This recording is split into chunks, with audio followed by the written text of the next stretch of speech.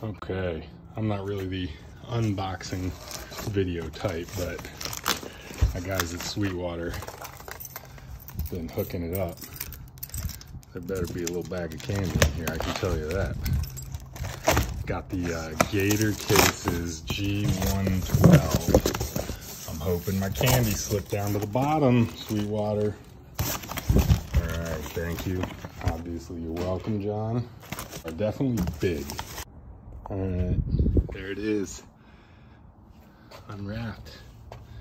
I mean, this thing's big. So Fender Blues Jr.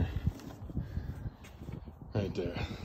So that's big amp case. Let's open it up and see what's inside. I don't think this thing comes with like padding. So I'm probably gonna have to, like, I don't know, stick a pillow or something in there. Oh. My guys never letting me down. So this thing is freaking big, man. But that's how much extra space for a Fender Blues Jr.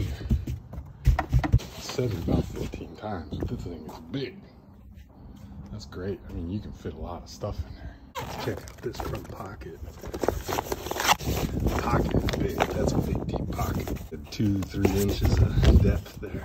That's maybe, I don't know, 18 inches by 12 or so. All in all, Gator, I think you guys did a great job on this. This is a great alternative for those of us that don't want to spend $700 on a flight case. All right, so same time that I ordered my amp case there, I got myself some earplugs. And honestly, the only reason I'm opening this right now is I'm hoping my guy Caleb at Sweetwater doubled me up on the candy. My guy at Sweetwater, Caleb Berry. Thank you. John. Thanks, John. Best customer service in the business. All right, Sweetwater. Appreciate it. Vibes.